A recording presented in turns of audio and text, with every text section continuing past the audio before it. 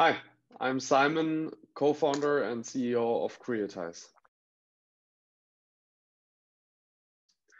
Glocality describes the fact that businesses operate globally but need to adapt to local requirements. In the context of manufacturing, that might be to produce locally in order to adapt to security requirements or to uh, tariffs, etc.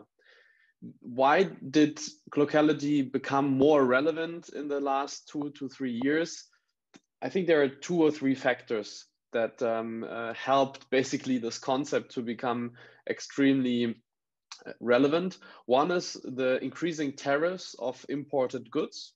So companies are forced to, to produce in local markets. Secondly, the concept or the higher importance of low CO2 footprint that um, also pushed people, sorry, people or companies to produce locally. Then we have seen in the past one and a half years during Corona and also with the Suez Canal crisis that logistic costs and uh, logistic disruption can heavily impact the global supply chains. So companies also thought of other ways to produce, and that's basically local production. And fourth, the one I think is very important is basically the time to market for your specific product making sure that uh, on a like on a on a local level you can adapt to the to the demand um, of any given product and can adapt basically uh, very quickly uh, to in order to not miss out of basically demand that you cannot um, supply.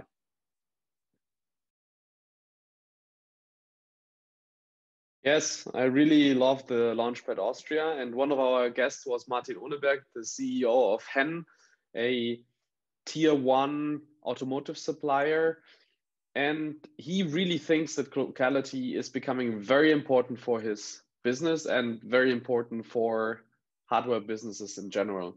Even though Henn is a medium sized business, they understood the necessity to operate and produce in local markets such as China and US to stay competitive. And here I think there are the, the three factors or the fourth the four factors as well of you know tariffs, CO2 footprint, time to market, adapt adapt to local requirements, and um, yeah, disruption or the potential threat of disrupted global supply chains that made this concept of glocality very important for Martin Ohneberg and Henn in general.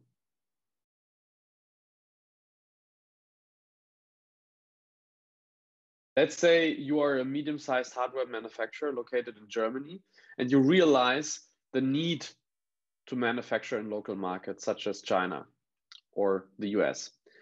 So, which now then you need to build up um, your local production in China, which means that you have to invest in in a supplier network. You have to invest in in your own assembly Uh, line. You have to hire people, etc., etc., and all of that is very cost intensive.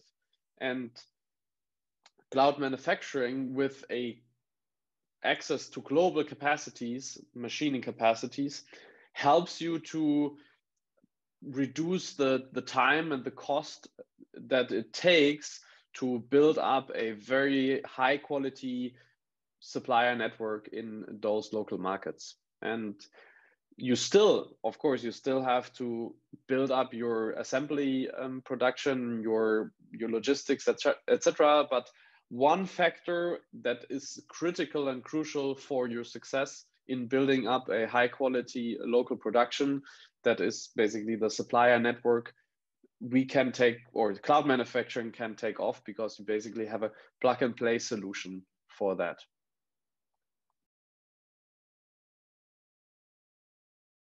we produce a lot of content uh, we have our podcasts we have our launch pads we have webinars you can find all that in on our website. And of course, if you are interested in the cloud manufacturing and how it can transform your business, then reach out to our cloud manufacturing experts. You can find that on our website, and they will walk you through how that works and how you can benefit of that. And I think one thing that is really important to understand is that cloud manufacturing comes without any investment needed. So you basically get the advantage of a global network of manufacturing capacities without any dollar or euro in investment. That's very attractive and um, can be implemented in a couple of weeks. So check it out and reach out to us if you're interested.